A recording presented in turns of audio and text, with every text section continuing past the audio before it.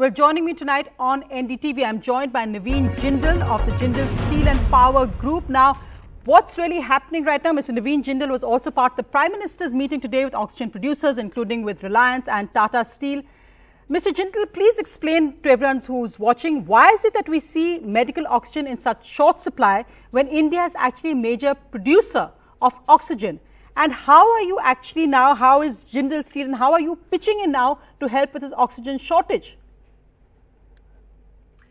Okay, so this uh, pandemic, I, I, you know, it's of you know huge uh, proportions, and it's on a very, very. Uh, it has um, the outbreak is of a very massive scale. Mm-hmm. So I think it has overwhelmed the entire system.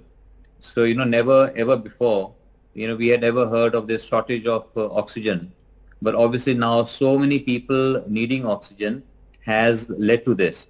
And I think oxygen also, the patients are needing oxygen in a very high quantity. Mm-hmm.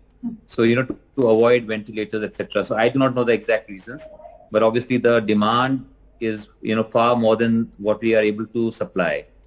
So we we are steel makers okay? So while in the process of making steel a lot of oxygen is used. So we have very large oxygen plants. So in this time of need we are diverting our oxygen to the needy so you know i mean that is the requirement of the country and so you know everyone the whole industry you know, today there was a meeting uh, that Honorable Prime Minister called, and all the major steel producers were there, and many other industries were there. Right. So everybody is of the same. You know, they, everybody is going, you know, out of their way mm-hmm. to increase their production, to reduce their own consumption, so that it can be made available mm-hmm. for people who are needing it all over the country. No, and uh, Mr. Jindal, you currently are in your Orissa steel plant apparently overseeing these tankers rolling out. We've seen the chief ministers of Madhya Pradesh, Maharashtra, uh, Delhi all reach out to you and hospitals in Delhi as well. What is the process actually like? As you said, you make steel and now you're overseeing medical oxygen, life-saving oxygen. Uh, yes, so I'm in uh, Odisha, Angul right now. And uh, so we are just seeing that, see, most of the oxygen that we make is in gas form. Mm-hmm. And, you know, the gaseous oxygen is not the best that to travel. I mean, very little oxygen will come. You know, it takes up a lot of volume, right? You can, cannot pressurize so much. Whereas liquid oxygen, you know, we are able to send a lot more liquid oxygen. But the production of liquid oxygen in our plants is very little. Mm-hmm. So whatever we used to buy from outside, you know, firstly, so there we had some tankers. We have diverted all those tankers you know, like you said, some tankers are going to Telangana, some are going to Madhya Pradesh, some are going to Delhi. The ones we send Delhi, they're going to reach uh, tomorrow. They left this morning only. So, you know, all these things take time, but I'm sure in the next two, three days, because this effort is being made, you know, I got calls from Chief Minister of Delhi, Chief Minister of Madhya Pradesh, Chief Minister of Rajasthan, and today with the Prime Minister. So everybody is working very, very sincerely on this. You know, everybody is, uh, you know, monitoring each and everything. Mm-hmm. So I think there will be impact of all these actions will come, but obviously there is a delay because the huge distances, uh, you know, that oxygen has to travel. You know, more than a thousand kilometers. So by evening tomorrow, two of our tankers, uh, sorry, three of our tankers will reach uh, tomorrow. Right. Okay, uh, which will, uh, you know, to some hospitals in Delhi, Medanta and uh, then also we are to Gangaram. So we are sending and we are sending more and more. So hopefully you're saying that two or three days we may see an improvement in the situation. What would you say to the people of India who are actually watching now, who are asking about this national mission, in fact, we're seeing of Oxygen Express is going. Uh, what do you think must be done to make this absolutely top priority? Should, the, should oxygen tankers be treated the same as ambulances? Should there be separate corridors uh, so they can just go through all, uh, uh you know, for instance, we don't have to worry about various state police stopping them. What do you think must be done so that we are in emergency mode? I think it's already happened. Uh, that's what uh, the Honorable Prime Minister said today. We had a meeting with him at uh, uh 1 p.m. Uh, today.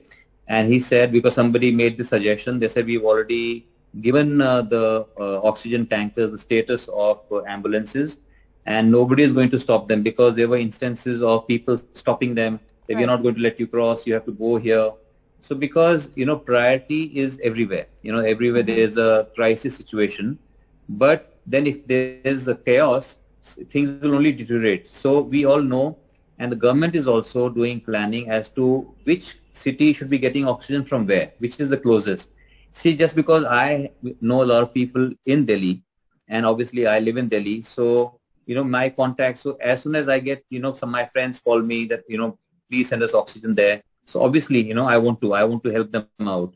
Similarly, Steel Ministry is also coordinating the efforts of all the steel producers. Then Government of India, Steel Ministry as part of Government of India, they are also coordinating.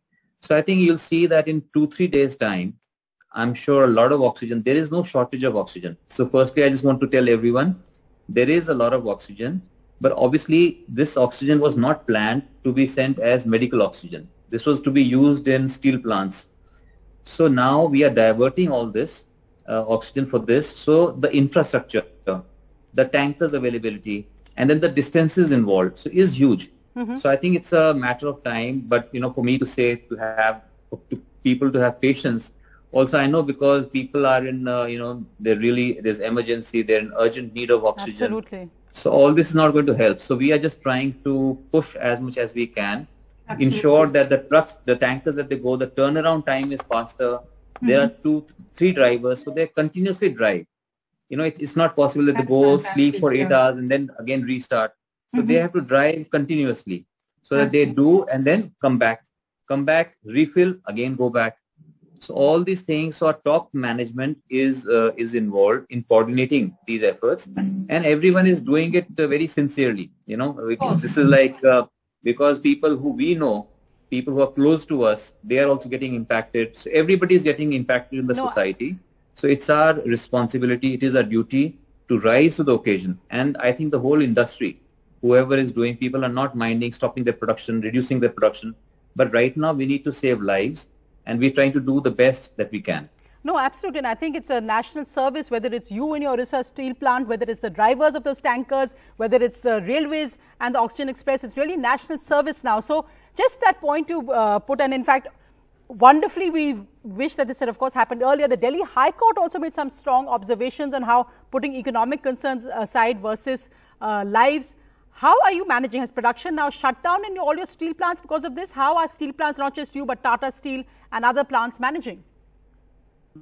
I have not seen the Delhi High Court uh, observations or whatever.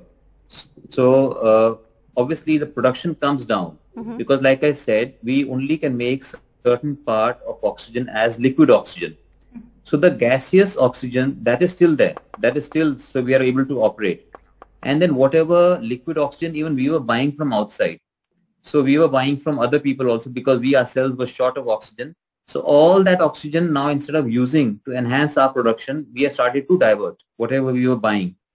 That we have diverted in whatever liquid oxygen we can make. So we are trying to maximize that because uh, then you have to make less of gas and more of liquid, right? So earlier, since there was no need, we used to all use it as a gas. But now we're making maximum liquid so that we can fill up the tankers. Right. So right now, like we have five, six hundred tons of oxygen in our plant. So we are happy to, you know, give it all. That's why, uh, like say till today, we are at the rate of yesterday it was mm-hmm. 100 tons a day. Today it's 150 tomorrow we'll cross uh, 300 tons per day. So next one week, we should be able to give oxygen at 3 to 400 tons per day. Fantastic. So that would be say around uh, around 15 to 20 uh, tankers uh, every day, and till our stock lasts. Then I'm sure, but by that time, I'm sure the things will start to come under control. I'm I'm hoping, and I'm hoping that that would happen. Mr. Naveen Jindal, thanks so much.